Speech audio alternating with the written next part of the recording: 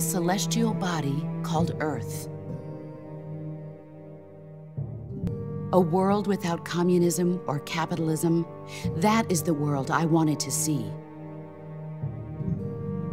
But reality continued to betray me. In 1961, I was sent to Cuba, to Bahia de Cochinos. It was part of a CIA-sponsored invasion under the guise of taking Cuban exiles back to their country. But the US government betrayed them. Our weak-kneed president held back their air support. Defenseless, the exiles were annihilated by the Cuban army. All I could do was watch in silence.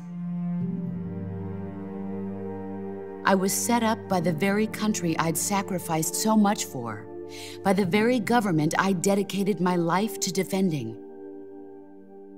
I was driven from the surface world and I went underground.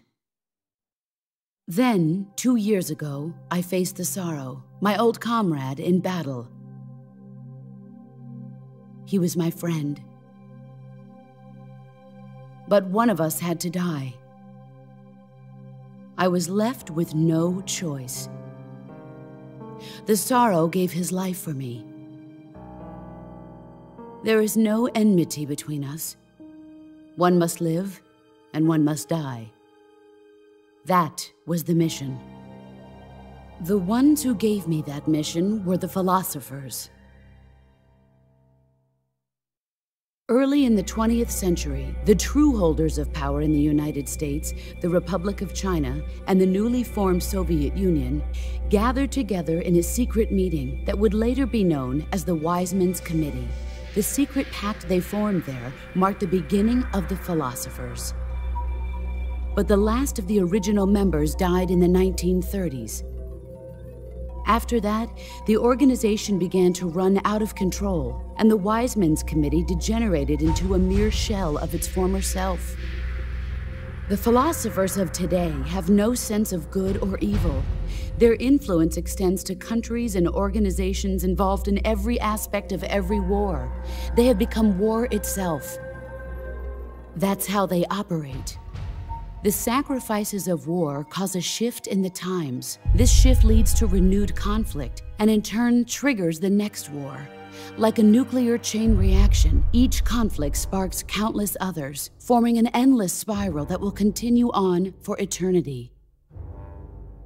Do you understand what I'm saying, Snake? By consuming me and you, the philosophers intend to keep that cycle going forever. It was my father who explained all of this to me.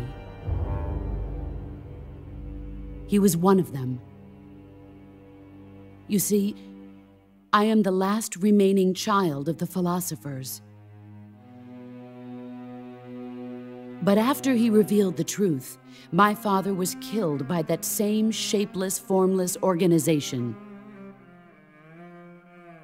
And my father isn't the only thing the philosophers have taken from me.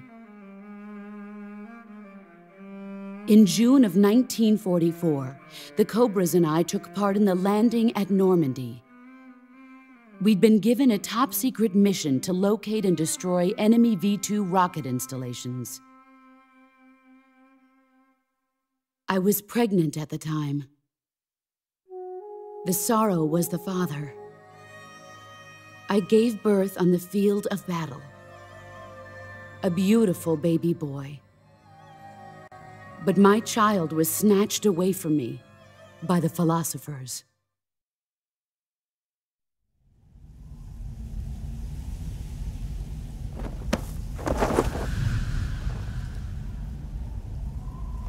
Look at this scar.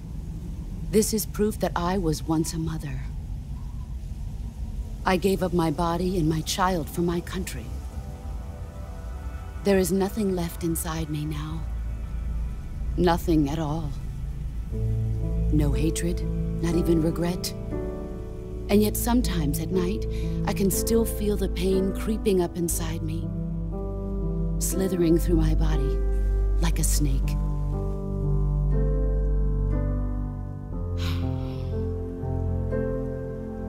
I've never talked this much about myself before.